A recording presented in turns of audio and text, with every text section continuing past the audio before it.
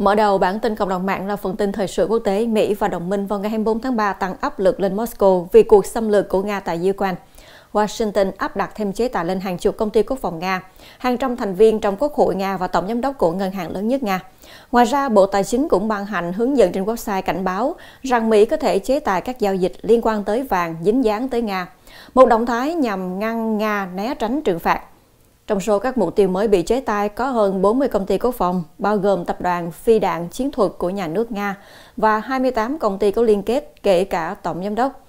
Bộ nói hành động này song hành với các biện pháp tương tự của EU, Anh và Canada. Bộ Tài chính Mỹ cũng ban hành chế tài lên 328 thành viên Quốc hội Nga và ông Herman Graf, lãnh đạo ngân hàng Sberbank lớn nhất của Nga. Một người thân cận với Tổng thống Nga Vladimir Putin Mỹ vào ngày 24 tháng 3 cũng nhắm mục tiêu 17 thành viên Hội đồng Quản trị của ngân hàng Socombank và đồng minh lâu năm của ông Putin là ông Gennady Timchenko. Các công ty của ông này và gia đình ông ta Quan chức bị nói Nga đang phải đối mặt với nạn lạm phát và đòn giáng kinh tế vốn sẽ đẩy nước này ra khỏi 20 nền kinh tế hàng đầu thế giới. Tổng thống Mỹ vào ngày 24 tháng 3 cho rằng Nga nên bị loại ra khỏi G20, gồm 20 nền kinh tế lớn.